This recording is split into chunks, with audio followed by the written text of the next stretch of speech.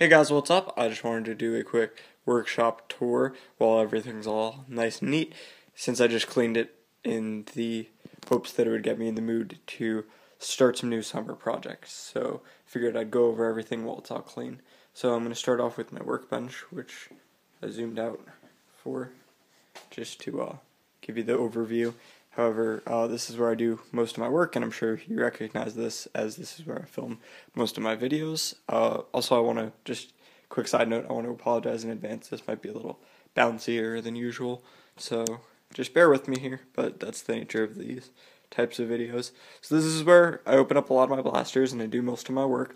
Uh, it's just a piece of a cutout yoga mat, just to give me a little bit better of a working area. It's a little bit easier to work with blasters on. Uh, this really helps a lot too for filming because it gives me a solid color background to work with so that it's not very distracting.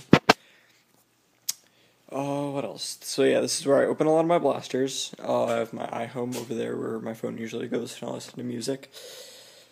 Uh, I have a few various things back here. Uh, I normally have an X-Acto knife, but I can't. fi- I couldn't find it as I was cleaning, so I just left uh, two normal knives and they'll do the job of deburring. Uh, I have my usual lubricant. Uh, this is rubber safe, so it's good to use with O-rings and various Nerf blasters. Uh, pens and pencils, good for drawing on, for cutting. I have a engineering ruler, which is curved, so you can use it to draw straight lines on things like pipes and curved surfaces. Uh, paper towels are always good. A little cup for screws, uh, that's pretty much it for my working area. Slightly above that, you'll see I have a lot of my hand tools, so like pliers and wire cutters, various screws that fit the various uh, screw, various screwdrivers that fit the various screws on a bunch of different Nerf blasters, electrical tape and masking tape, sharpies. I have like three pairs of scissors because I always end up losing them. Scribe, not really something that's like necessary for Nerf, but it's good for you. Uh, the tip is hardened metal and you can use it to I believe it's steel. So you can draw on you can etch little lines with a uh, square onto metal and other plastics. Uh, I have a hacksaw my rot my uh, rotating pipe cutter which is very helpful for if you make homemades or just need to cut PVC for any of your Nerf projects. Uh, I have robo grips which are kind of like auto locking vice grips which are pretty handy. Uh, I don't usually use them on a lot of Nerf stuff just because they can, uh, the little teeth tend to rip up the plastic. Vice grips, uh, ruler, some signs, as you can see. Uh, ruler, like I said, up there. Then we have, uh, what this is, it is a ratcheting wire crimper. Uh, it's good if you do a lot of electronic projects. I actually got it for robotics this year because I do the wiring for our robots. But what it does is normally you would have something like that and you'd crimp it via the top piece up there. So like now what you would do with this thing is it actually gets a much tighter grip and you have the three different the red, the blue and the yellow which are the three different sizes for wire terminals and what you do is it rotates and it actually has a set of gears in it and it puts a lot more pressure onto the actual piece than you would normally be able to, and it gets a much better crimp. So that's very useful if you um, do a lot of electronic projects. I would recommend it, uh, especially ones where you use crimps, obviously.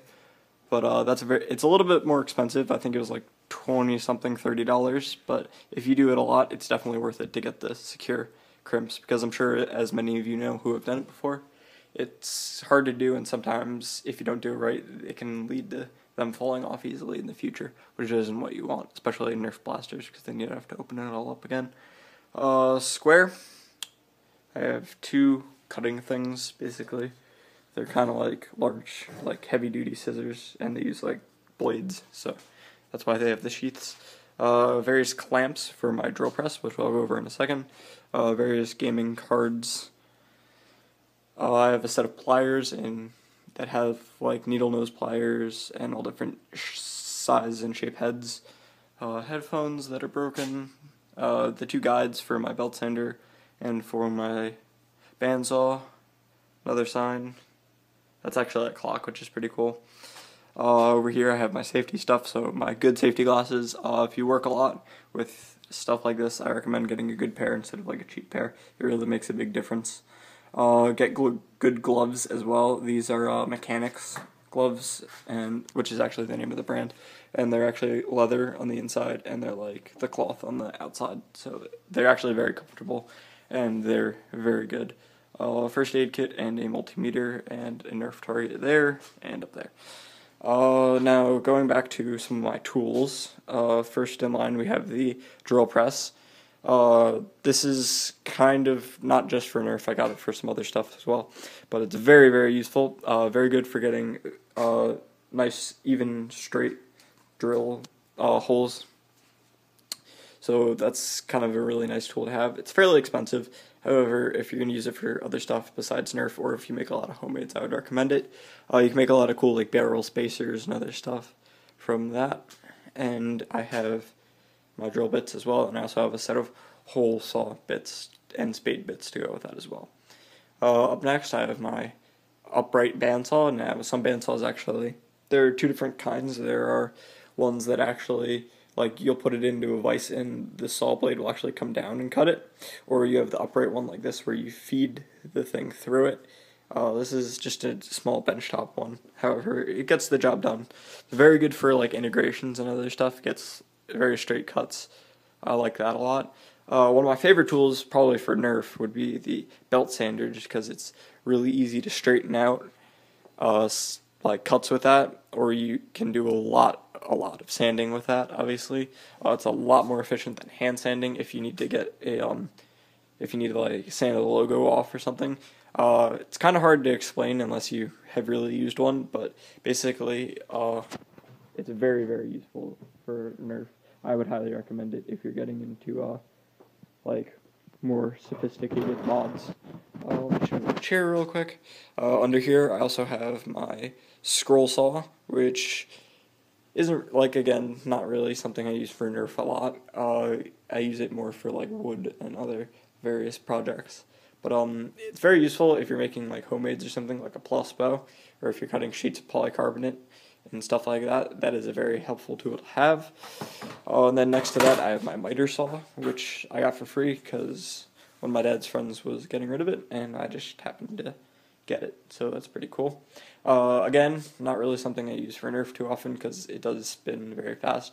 I use it more to cut uh, like big pieces of wood, like the 4x4s you see in the center of the screen now, or the 2x4s and 2x6s and whatnot that I use to make this workbench myself. So that's very useful. Uh, I just got this recently. It's a organizer, as you can see, but uh, I still need to fill up a lot of the spaces. So that's just kind of under there because I don't really have a place for it right now. Okay, now starting with this small storage thing. Uh, I have a lot of my small pistol type blasters up in this one corner. Uh, moving over, I have some darts, my snap bow, an air blaster I do not remember the name of. Then over there, I have a lot of my missiles and larger ammo. Uh, some more darts. Doesn't look like anything's in there uh, magazines and drums, barrel attachments in those three in the corner, all barrel attachments, marshmallow guns, and my Octoshot turret, which I'm just using for like spare CPVC. Behind that, in this huge Rubbermaid Rubbermaid bin, I have a lot of my large blasters and a lot of my stock stuff, as well as like the Straven and modified Elite Alpha Trooper, and then I have some other large stuff like the two long shots and Rampage and rocket launcher leaning up against it just to conserve some space, and that's most of my stock blasters and whatnot. Uh, next, going over my tool locks, I have a lot of random stuff up here. Uh, third arm tool, very good for soldering. Up here, I have my LEDs. Uh, when I bought it, it was about 500 and I got it for about $10 from a China distributor. Uh, it's a lot cheaper than going to Radio Shack and buying them like two or three at a time. Definitely recommend it, or buying in bulk online. Uh, a lot of resistors as well, and various ohm ratings. Uh, up here, I also have a lot of like various glues and whatnot. Uh, let's see. Various screwdrivers. Allen wrenches and normal wrenches and whatnot. Various hand tools, various hand tools, and like a socket set. To pick up that in a second. Uh, stud finder, various manuals, power screwdriver. Use these screws a lot for my homemades. They're very useful. Uh, various screws and nails and extra elements. Uh, what I just knocked over before was this smiley face clock that I keep meaning to put up. Uh, I like the saw blade clock better, so I changed out the smiley face for the saw blade. Uh, let's see. I have circular saw. My 18 volt lithium ion drill, very useful. Uh, the charger and the two batteries are under the circular saw. Uh, I have my soldering iron. Uh, back here I have my Dremel or rotary tool rather, because it's not actually a Dremel brand. But um, very useful tool if you're just getting into modding. I would definitely pick one up. Uh, it does sanding, cutting, small holes, you name it, it pretty much does it. It's kind of a very good tool. It's very diverse in what you could do with it. Uh, hot glue gun. Every modder has a hot glue gun. Uh, corded drill. Don't use it too much because I have a drill press and like two other hand drills. Uh, speaking of hand drills, there's another one in there. Uh, contractor's tape and some spare wood. Uh, my shop vac, which is very nice for having the belt sander and the bandsaw. Uh, and here I have a lot of just like spare blaster parts and of like other stuff. It's not all just Nerf uh, stuff and blanks, other various Nerf pieces and whatnot. Uh, starting from this shelf on the bottom, I have my spray paint and spray adhesives and other like matte clear coat and stuff.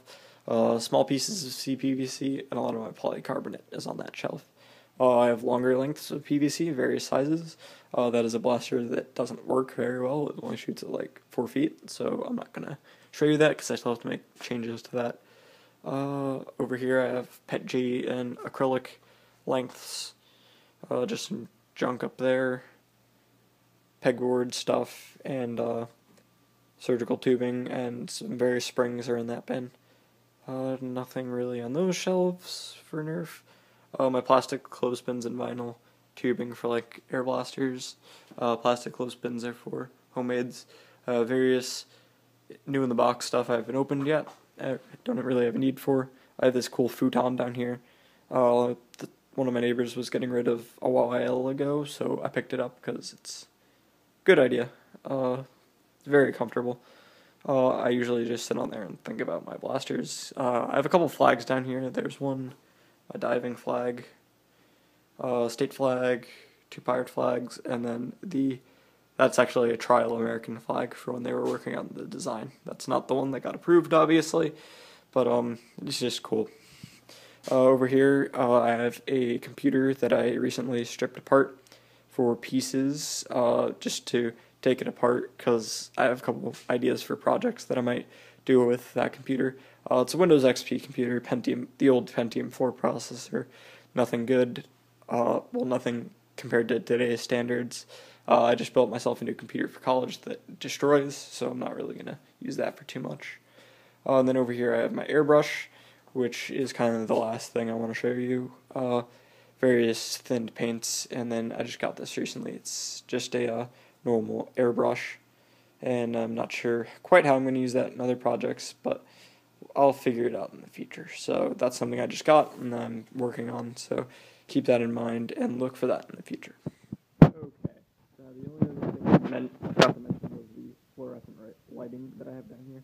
There's two rows of two, and that's just because basements have very poor lighting, and I don't want to go blind, so I got those, and I put them up myself. Uh, other than that, I looking at the timer, I should really start wrapping up. So, thank you for watching. I hope you enjoyed. If you have any questions about specific tools, or if you want me to go make another video where I go over like tools that I use and whatnot, it more in depth, uh, let me know and I'll try to do that. But other than that, thank you for watching. If you have any questions, put them in the comment section. And I hope you enjoyed this long, bouncy, and rambly video.